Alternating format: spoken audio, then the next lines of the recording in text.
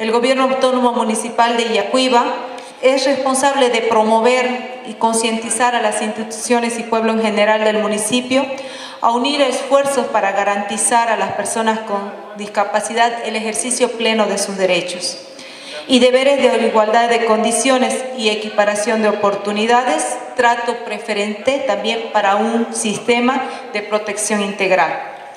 Como gobierno municipal hemos venido coadyuvando en todas las actividades que engloban y se vienen desarrollando en estricto cumplimiento de sus derechos fundamentales para poder hacer de nuestro gobierno municipal un municipio inclusivo. En este Día Nacional de las Personas con Discapacidad hacemos llegar una extensiva salutación a cada uno de ustedes y nuestro reconocimiento por sacar adelante a sus niños, niñas, esposas, hermanos y familia en general. Si bien los tiempos que vivimos ahora, los tiempos nuevos, hay más inclusión, mayor inclusión que otros años, esto no quiere decir que estemos bien.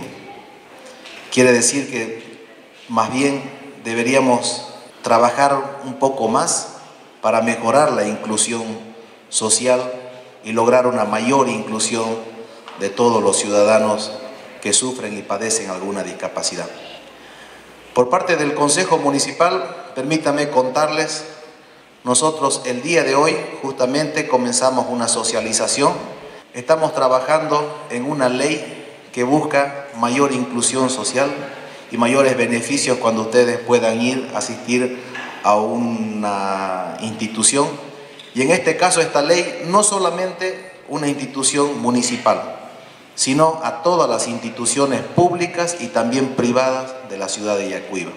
Con estas palabras, desde lo más profundo de mi corazón, quiero abrazarlos a todos. Quiero aprovechar esta oportunidad para felicitar a todos y cada uno de mis compañeros que día a día luchan para salir adelante, no permitiendo que la discapacidad sea un impedimento en nuestras vidas. Quiero saludarles en este día tan especial Día de las Personas con Discapacidad sea un momento de reflexión y hay que seguir sin dar un paso atrás, siempre hacia adelante. Y sé que en un tiempo no muy lejano, las personas con discapacidad estaremos incluidas en la sociedad.